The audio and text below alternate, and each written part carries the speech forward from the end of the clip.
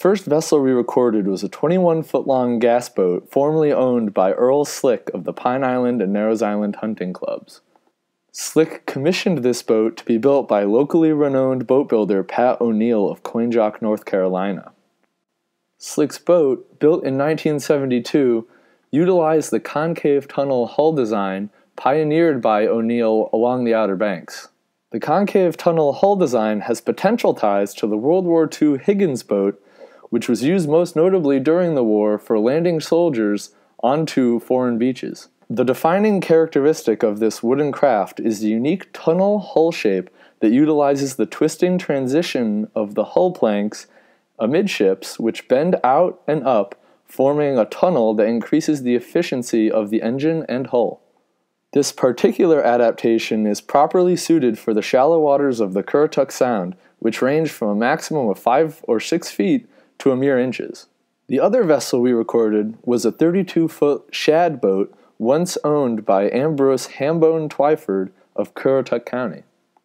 This boat, built in 1906 by celebrated builder W. Otis Dough of Manteo, North Carolina, is one of the few remaining examples of a North Carolina shad boat. In 1986, the North Carolina General Assembly recognized the shad boat as the state's official historic boat for its versatility, resilience, and design unique to North Carolina.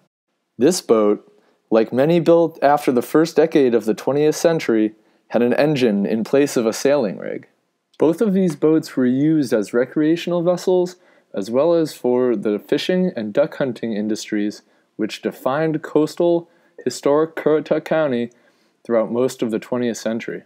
Each boat is no longer seaworthy, but are fully restored for display purposes in the Currituck Heritage Park.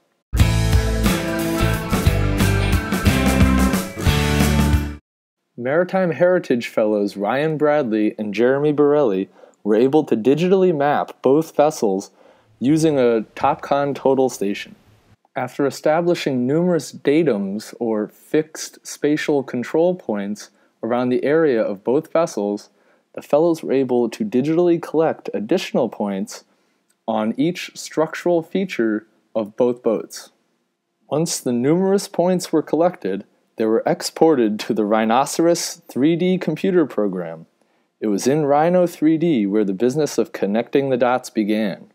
Like defining constellations out of stars in the sky, the dots were connected using lines and curves on Rhino.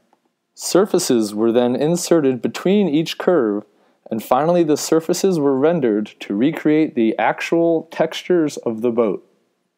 After eight weeks of fieldwork and reconstruction, a structurally complete three-dimensional model of each vessel emerged. In addition to fieldwork, the research fellows met with several individuals, including Currituck locals Travis Morris and Carl Ross, who possessed invaluable information pertaining to the construction, design, and use of these vernacular craft. These 3D models can now be used as education and outreach tools for teaching the public about the tradition and culture of boating and boat building unique to the Outer Banks and Currituck County.